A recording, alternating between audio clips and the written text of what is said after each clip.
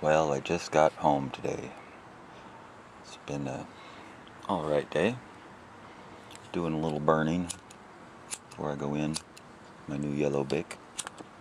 Woo! Wow. Ooh, feels good. Ooh. Oh, it makes me so hot. He's on fire. Woo! Anyway, I'll have to save the rest of that for uh, the candle, right? fun, fun, fun. Wait a minute. I gotta finish my bong hit. Here, look at these chemtrails.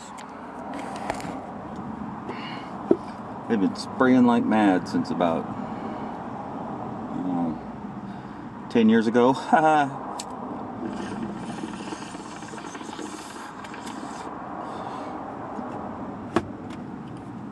These people know what the word is now.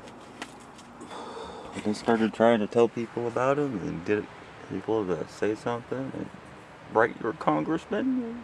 People didn't even know the word. Like, what do you mean, chemtrail? They didn't even know what contrail was either. Just beyond me.